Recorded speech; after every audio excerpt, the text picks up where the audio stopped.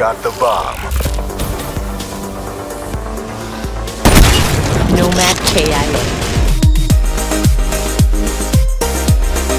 What is up guys, my name is Nick and today we're going to be talking about the overpowered SVG class setup. Now I know a lot of you guys asked for the Locust, but I have to say ever since I started playing with the SVG roughly about a month ago, I honestly fell in love with this thing and completely forgot about the Locust. The SVG gets so little hit markers. Actually, I got a few hit markers with it, but that's another story. But the, it gets so little hit markers that I have to say it is a lot better than the Locust, especially with these attachments and this class I'm about to give you guys. Now, before we get into this video, I just want to say yesterday's video went really, really well. It got over 500 likes, but it also got over 50 dislikes. A lot of you guys got really upset. A lot of you guys, I guess, didn't get the April Fool's joke, but nonetheless, for those of you who did get it, thank you guys for not like getting mad at me for doing it. And so, but nonetheless, guys, let's move on to to this class setup. Now guys, we're going to start off with the perks because those are the boring ones. At perk number one, we have Sixth Sense. You guys know I put this on every single class practically no matter what. Now this is because I want to know where enemies are, especially using a sniper, it's really good. You're going to be posted up in a certain area. You want to see if there's somebody coming from above you, below you, behind you, or sitting in a corner around you perfect perk to have. Honestly, it's a cheating perk, but it's perfect to have. Going on to perk number two, we're going to have fast hands. Because you are using a uh, sniper, you're going to want to switch to your secondary really, really fast if you miss your first shot and the person's pretty close. You want to be able to hit them out pretty quickly, and we'll get into the secondary weapon in a second here, but let's move on to the third perk as well, which is going to be awareness.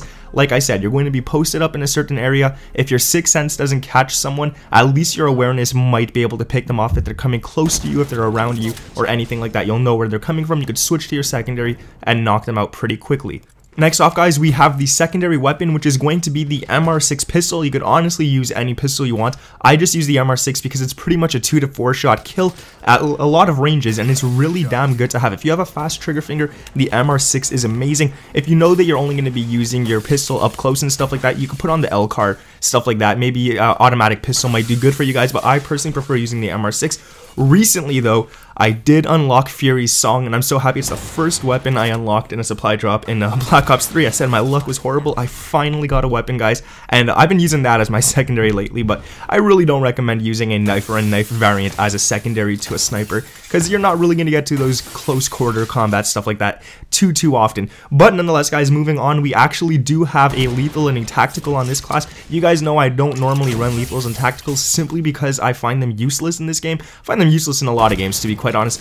But nonetheless, these ones are actually pretty good, and that is a shock charge for your tactical. So uh, you could throw it, and you could see if anyone's coming behind you. You could shock charge them; they'll be shocked, and then with that, you'll have your trip mine as your lethal right beside the shock charge. So once the person steps into the shock charge, they can't move, and then the the uh, trip mine goes off and blows them up to pieces. And if that doesn't work, if they're wearing flak jacket or something, you easily know exactly where they are, and you can pull out your pistol and shoot them with one bullet, and they'll be guaranteed dead as long as your trip mine got a hit marker going on to the attachment guys. Now the attachments on this class you have to follow one of them specifically because I noticed that with the optical that I or the optic that I use it's a lot easier to get quick scopes to get hard scopes and it's just a lot more accurate for some reason than the base uh, sight on this gun. So what you're gonna want to do is put on the thermal sight and do not use the default dot. That's the big circle dot that has like it's kind of like a ring I would say.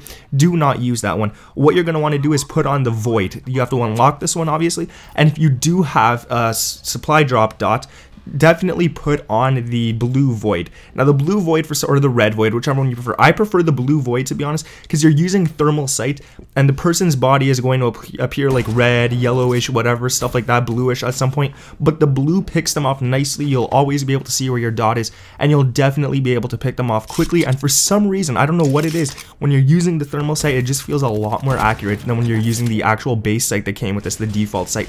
So definitely throw that on with the blue void.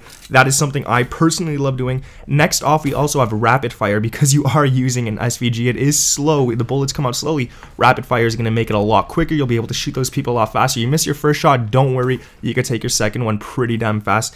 And the last one that we got here, guys, is stock. Now, because it is a sniper, guys, you are going to be hard scoping, and I don't care if you tell me you're an elite trick shot or 420 no scope, wall bang, quick scoping guy. I don't care what you say, you will be hard scoping every so often, at least using a sniper. So when you do this, you're going to want to throw stock on so that you can move quickly out of the way while you're still maintaining your scope, while you're still maintaining your accuracy on the person. So if he's shooting at you, he might have a little more difficulty while you move quickly rather than if you were to move super slowly and he could keep his accuracy right on you, his, his aim right on you. So nonetheless, guys, that is my SVG class. I hope you enjoyed this. Again, I do want to apologize for those of you who did get upset about yesterday's video. It was just an April Fool's joke, guys. But nonetheless, thank you guys for watching. Subscribe if you're new around here. Let's hit 200 likes on this one. I hope you guys enjoy this class. You wanted a sniper class. I will do the Locust eventually, but I've just been having way too much fun with the SVG lately. But thank you guys for watching. Subscribe if you're new, and I'll catch you in the next one. Peace.